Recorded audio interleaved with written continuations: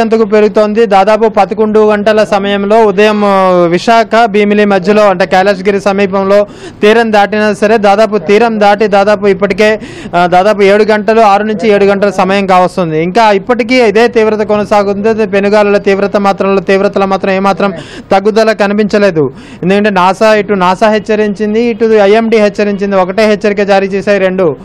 తుఫాను తీరం దాటే సమయానికి ఏ విధంగా గాలుల తీవ్రత దాదాపు నూట తొంభై నుంచి రెండు వందల కిలోమీటర్ల వేగంతో గాలులు వీస్తాయని చెప్పి ఏ విధంగా హెచ్చరిక జారీ చేసిందో అదే గాలుల తీవ్రత తుఫాన్ తీరం దాటిన దాదాపు ఆరేడు గంటల నుంచి తర్వాత కూడా ఇదే తీవ్రత కొనసాగుతుందని చెప్పి ఏ హెచ్చరిక జారీ చేసిందో అదే హెచ్చరిక ఇప్పటి వరకు నిజమవుతూ కనిపిస్తుంది. ముఖ్యంగా గాలుల తీవ్రత ఎక్కడికక్కడ ప్రచండ వేగంతో గాలులు వీస్తున్నాయి. సముద్ర తీరం అంతా అల్లకల్లోలంగా ఉంది. ఉదయం నుంచి సాయంత్రం నుంచి మన ఎక్స్క్లూజివ్ ఎక్స్ప్రెస్ టీవీ ప్రతి ఒక్కరిని అప్రమత్తం చేసేందుకు ప్రయత్నిస్తోంది. నాతో పాటు నా సహచర టీం ముఖ్యంగా పాయకరావుపేట రిపోర్టర్ కానీ ఇటు తుని రిపోర్టర్ కానీ ఇటు రాజమండ్రి నుంచి వచ్చిన నా కెమెరామెన్ కానీ ఇటు విశాఖ టీం కానీ ఎప్పటికప్పుడు విశాఖ తూర్పుగోదావరి జిల్లాలో జరుగుతున్నటువంటి యొక్క హుదు తీవ్రత తీవ్రత ఎలా ఉండబోతోంది ప్రజలు ఏ విధంగా అప్రమత్తం కావాలి ప్రజల్ని ప్రజలు ఏ విధంగా సురక్షిత ప్రాంతాలకి తరలి వెళ్ళాల్సిన అవసరం ఎందుకు వచ్చింది ఈ తుఫాన్ తీవ్రత ఎంత దారుణంగా ఉంటుంది అన్న దాని మీద ప్రతి క్షణం అప్డేట్ ఇస్తూ వచ్చింది. ఆ అప్డేట్ విధంగానే ఇప్పుడు తీవ్రత చాలా పెనుగు పెను తీవ్రత దాల్చింది. ముఖ్యంగా విధ్వంసాన్ని సృష్టించుకుంటూ పోతుంది.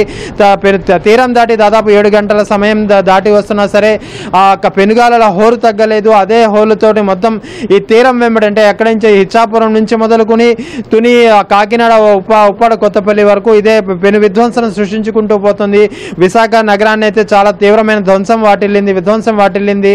ముఖ్యంగా ఉదయం ఇందాక సాయంత్రం చాలా చూసాం మనం హైవే మీద ఏ విధమైతే పెనుగాలల తీవ్రత హోరెత్తిందో ఆ తర్వాత తర్వాత అక్కడ కూడా చూసాం రేవు పోలవరం దగ్గర ఏ విధంగా అయితే సముద్రం రాకాసి అలలు విరుచుకుపడ్డ పరిస్థితిని మనం కళ్ళారా ప్రతి ప్రేక్షకుడికి వివరించి జరగ చెప్పడం జరిగింది.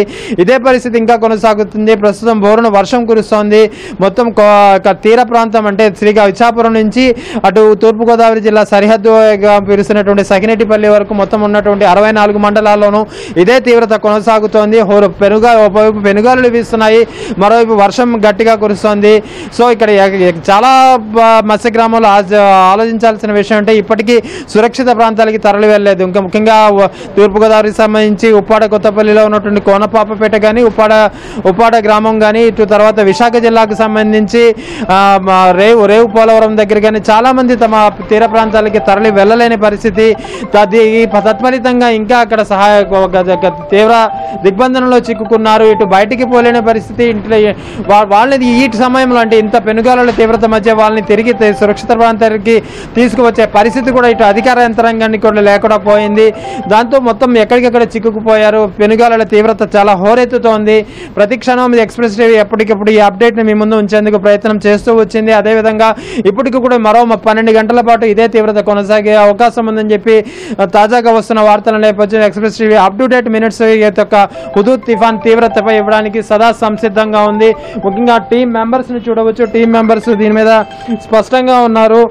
టీం మెంబర్స్ ఎప్పటికప్పుడు యొక్క తుఫాన్ తీవ్రత మీద సంబంధించి యొక్క అప్డేట్స్ అందించేందుకు సదా సిద్ధంగా ఉన్నారు. ముఖ్యంగా ముఖ్యంగా ఈ ఉదయం నుంచి చూసుకుంటే ఆరు గంటల నుంచి మొదలైనటువంటి యొక్క ఎక్స్ప్రెస్ టీవీ యొక్క కవరేజ్ పరంపర ఇప్పటికీ కొనసాగుతుంది. దాదాపు రా ఇప్పుడు ఏ ఆరు గంటల పన్నెండు గంటల నుంచి ఏకతాటిగా నిరంతరంగా ఎక్స్ప్రెస్ టీవీ యొక్క ప్రజల్ని ఒకటే ఉద్దేశం ఏదో ఎక్స్ప్రెస్ టీవీ గొప్పగా కవరేజ్ ఇచ్చిందని చెప్పుకోవడానికి కాదు కానీ ప్రజల్ని చైతన్యపరచాలి. తీర ప్రాంత ప్రజలు చాలా అమాయక పరిస్థితుల్లో ఉన్నారు. చాలా ఆందోళనకర పరిస్థితుల్లో ఉన్నారు. వాళ్ళని అప్డేట్ వాళ్ళని ఒక చైతన్య పరిస్థితి పరిస్థితి కానీ వాళ్ళని తిరిగి అక్కడ సురక్షిత ప్రాంతాలకు తరలి వెళ్ళే అవకాశం లేదన్న ఒకే ఒక ఆలోచనతోటి ఎక్స్ప్రెస్ టీవీ ఎప్పటికప్పుడు ఇక మీ ముందు యొక్క ఇక తుఫాన్ తీవ్రతను మీ ముందు ఉంచే ప్రయత్నం చేసింది. అందులో భాగంగా నా టీం మెంబర్స్ని నా కవరేజ్ ప్రయత్న పూర్తి ప్రయత్నం చేశాను ముఖ్యంగా పెనుగాలుల తీవ్రత ఎంత స్పష్టంగా ఉందో రేవుగోపు రేవు రేవు పోలవరం దగ్గర లైవ్ ఇచ్చిన పరిస్థితిలో చూసాం. ఒకవైపు గాలులు విసురు వేస్తున్నాయి.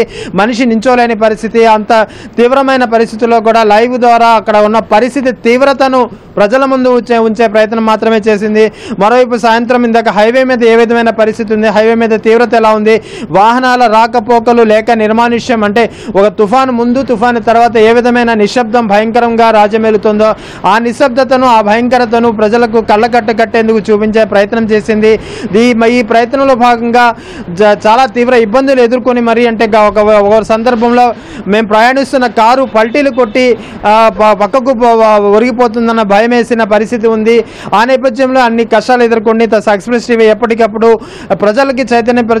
ప్రజల యొక్క హుదూ తీవ్ర తీవ్రత పైలిన్ తీవ్రతకు మించి రెండింతలు మించి తీవ్రత ఉందన్న విషయం ఏ విధంగా హెచ్చరికలు జరిచిందో అదే విషయం స్పష్టమైంది. ఆ హెచ్చరికల నేపథ్యం సీరియస్గా తీసుకున్న ఎక్స్ప్రెస్ టీవీ యాజమాన్యం కానీ మేము కానీ ఈ యొక్క తీవ్రతను ప్రజల ముందు ఉంచే ఉంచే ఉంచే ఉంచి ఉంచే ఉద్దేశంలో భాగంగానే ఈ యొక్క పెనుగాలుల తీవ్రతను ఇక స- బోరున కురుస్తున్న వర్షాన్ని సైతం లెక్క చేయకుండా నేను నా టీం మెంబర్ సదా మీ ముందు యొక్క ఎక్స్ప్రెస్ టీవీ యొక్క ప్రయత్నాన్ని ఒక ప్రజల ముందు ఉంచే ప్రయత్నం చేసింది.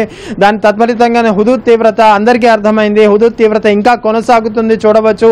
భోరున వర్షం కురుస్తుంది పెనుగాలుల తీవ్రత ఏ విధంగానైతే ఉదయం పదకొండు పదకొండున్నర గంటల మధ్య తీరం దాటినప్పుడు ఏ విధంగా అయితే గాలుల తీవ్రత దాదాపు గంటకు నూట తొంభై ఐదు కిలోమీటర్ల వేగంతో వీచి విధ్వంసాన్ని సృష్టించే దిశగా సాగాయో అదే గాలుల తీవ్రత ఇప్పటికీ దాదాపు ఏడు గంటల సమయం దాటి వస్తోంది.